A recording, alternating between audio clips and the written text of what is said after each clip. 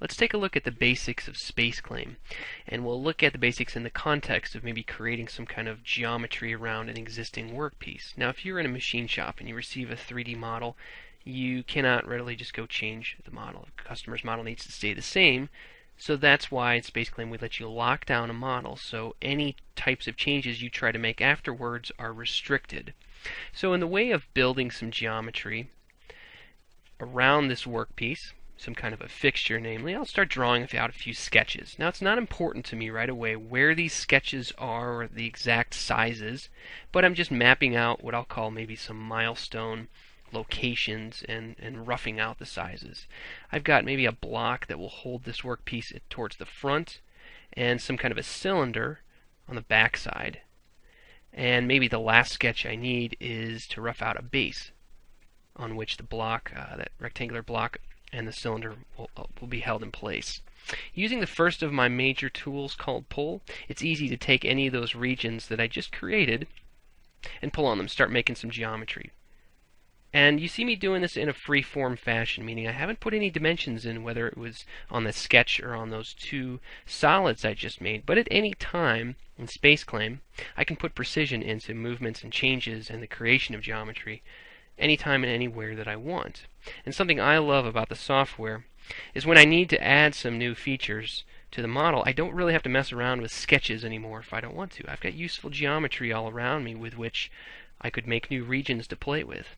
And then when I pull on those, I get extra geometry in the mix. So it's a fast way to create some things in your model on the fly. Uh, one obvious problem I have with this, you're wondering, is how is this going to be a realistic fixture? I've got a major interference between the workpiece and the green bodies. Well, using one of my tools called Combine, this lets me chop up models. So I really want to chop up the green model and use the blue one to do it. And so excess areas and areas of interference I can get rid of just with a click of a button.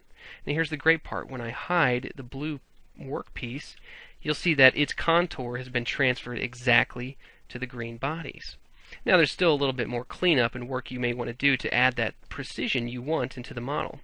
Everything in the center of the cylinder you may want to get rid of. It's not necessary to actually mill that out or turn that out.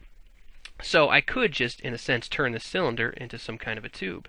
And I have a tool to let me do that. It's called Split Solid. It lets me chop up a model based on a new surface I just created. And it automatically puts me in a mode of deleting the center of that based on that new surface that uh, cut it up. So I'll get rid of that surface. I don't need it anymore. And this is now tube, much easier to uh, machine the end of this out. So you saw me use the pull tool to actually create geometry. It's this fill tool that allows me to delete it because maybe there's things I just don't want and aren't necessary for holding this in place.